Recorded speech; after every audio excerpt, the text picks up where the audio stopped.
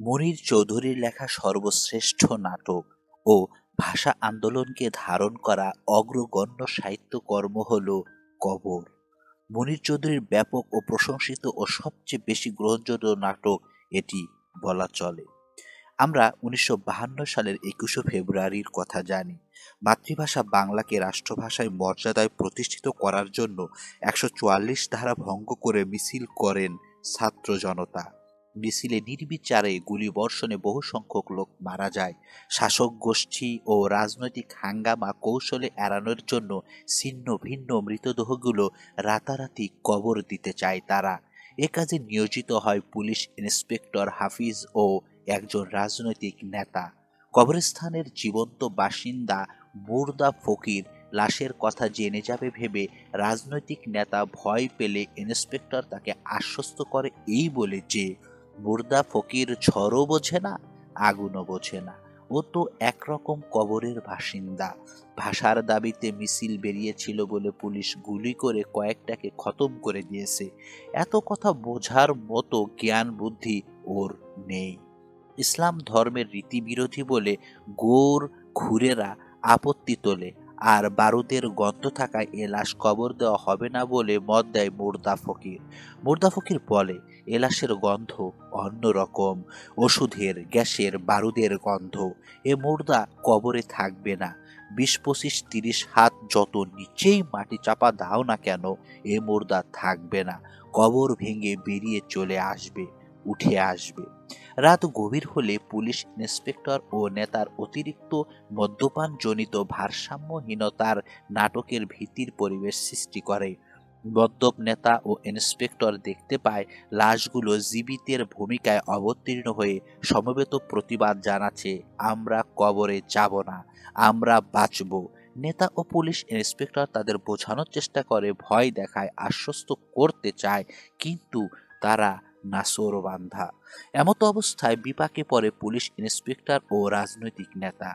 নেতা বলে, জীবিত থাকতে তুমি দেশের আইন মানতে চাওনি। মরে গিয়ে তুমি এখন পরপারের কানুনকেও অবজ্ঞা করতে চাও। কমিউনিজমের প্রেতাত্মা তোমাকে ভর করেছে। তাই মরে গিয়েও এখন তুমি কবরে যেতে চাও না। তোমার মতো ছেলেরা দেশের মরণ ডেকে আনবে। নাটকের শেষ দিকে মুর্দা ফকিরকে নিহত মানুষের উদ্দেশ্য বলতে দেখা যায়, তোরা কোথায় গেলি? সব ঘুমিয়ে নাকি উঠে আয়? তাড়াতাড়ি উঠে আয়, সব মিছিল করে উঠে আয়। গুলি গুলি হবে। স্ফূর্তি করে উঠে আয় সব। মিছিল করে আয় এদিকে, আজ গুলি হবে। গুলি হবে আজ, কবর খালি করে সব উঠে আয়। এই হলো কবর নাটকের মূল পরিসর। পরিবেশনার নানা কলা কৌশল ও উপরযুক্ত সংলাপ ব্যবহার করে এর কাহিনী ফুটিয়ে তুলেছেন মনির চৌধুরী। কবর একাঙ্ক বিশিষ্ট নাটক, চরিত্রও বেশি নেই। নেতা, পুলিশ, ইন্সপেক্টর হাফিজ, মোর্দা ফকির কবরস্থানের একজন গার্ড ও কয়েকটি ছায়া চরিত্র। জেলখানায় নারী চরিত্রের অভিনেত্রী পাওয়া যাবে না বলে নাট্যকার নাটকে কোনো নারী চরিত্র রাখেননি।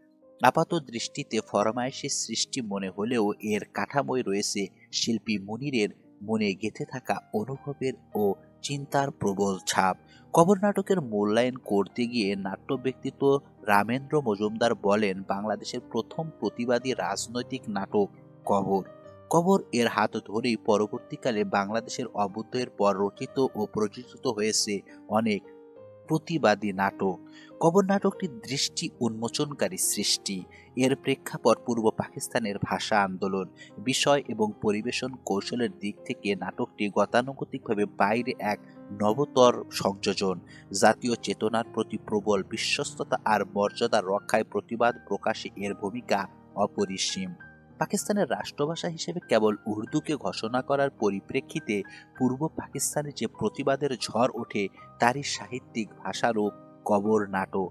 ভাষা আন্দোলনের সপক্ষে কাজ করার অভিযোগে মুনির চৌধুরীকে উনিশশো সালে ছাব্বিশ ফেব্রুয়ারি গ্রেফতার করা হয়। পাঠানো হয় দিনাজপুর জেলে। সেখান থেকে একসময় ঢাকা কেন্দ্রীয় কারাগার স্থানান্তর করা হয়। জেলখানায় থাকাকালে বামপন্থী বিপ্লবী রাজনীতিবিদ রণেশ দাশগুপ্ত, মুনির চৌধুরীকে জেলখানায় ভাষা দিবস উদযাপনের জন্য নাটক লিখতে অনুরোধ করেন। এ ব্যাপারে রণেশ দাশগুপ্ত লিখেছেন, যেহেতু আমার সঙ্গে বরাবরই মনির চৌধুরীর একটা বিশেষ প্রীতির সম্পর্ক ছিল, সেজন্য সকলের হয়ে আমি পূর্ণ হাজত থেকে গোপনে চিঠি পাঠিয়েছিলাম মনির চৌধুরীকে নাটক লিখে দেওয়ার জন্য। প্রথম ভাষা দিবস পালন উপলক্ষে পরিবেশনের জন্য উনিশশো তিপ্পান্ন সালের সতেরোই ফেব্রুয়ারি তিনি কবর নাটক রচনা শেষ করেন। একুশ ফেব্রুয়ারি রাত দশটায় ফণী চক্রবর্তীর পরিচালনায় এটি কারাকক্ষে মঞ্চস্থ হয়। এ নাটকের অভিনয় শিল্পী ছিলেন কায়েদিরা আর দর্শকও ছিলেন কায়েদিরা। নাটকটি প্রকাশ্যে প্রথম মঞ্চস্থ হয় উনিশশো ছাপ্পান্ন সালে ঢাকা বিশ্ববিদ্যালয় সংস্কৃতি সংসদের একুশ উদযাপন উপলক্ষে। প্রথম ছাপা হয় উনিশশো পঞ্চান্ন সালের আগস্ট মাসে দৈনিক সংবাদ পত্রিকার আজাদি সংখ্যায়। এর দশ বছর পর হাসান হাফিজুর রহমান সম্পাদিত একুশে ফেব্রুয়ারি সংকলনের দ্বিতীয় সংস্করণে নাটকটি পূর্ণ মুদ্রিত হয়। উনিশশো ছেষট্টি সালে চট্টগ্রাম শাহিন বুক ক্লাব থেকে গ্রন্থাগারে প্রকাশিত হয় এই নাটকটি। সংলাপ নাটকের প্রাণস্বরূপ। মনির চৌধুরী কবর নাটক অসম্ভব পারঙ্গমতায় সংলাপের ব্যবহার করেছেন। বিশেষত নাটকের বিষয়বস্তুর সাথে সঙ্গতি রেখেই সামর্থ্যবান শব্দে সংলাপের প্রয়োগ করা হয়েছে। বিশেষত মোর্দা ফকির ও নেতার কথাবার্তার মধ্য দিয়ে ভাষা আন্দোলন, রাজনীতি ও শোষণ অনেকটাই স্পষ্ট হয়ে উঠেছে। কবর নাটকের সংলাপের মাধ্যমে মনির চৌধুরী দেখিয়েছেন কীভাবে শব্দ চাতুর্যের মাধ্যমে অসঙ্গতি তুলে ধরা যায়। এ সম্পর্কে ডক্টর আনিসুজ্জামান তার মনির চৌধুরী তার নাটক প্রবন্ধে বলেছেন, রাজনৈতিক চেতনার এমন কলমিত রূপ আমার সাহিত্যে কমই দেখা যায়। কারাগারে গোপনে অভিনয়ের অভিপ্রায়ে এটি রচিত। কাজে মঞ্চ উপকরণের শোচনীয় সীমাবদ্ধতা মেনে নিয়ে তাকে নাটকটি লিখতে হয়েছিল।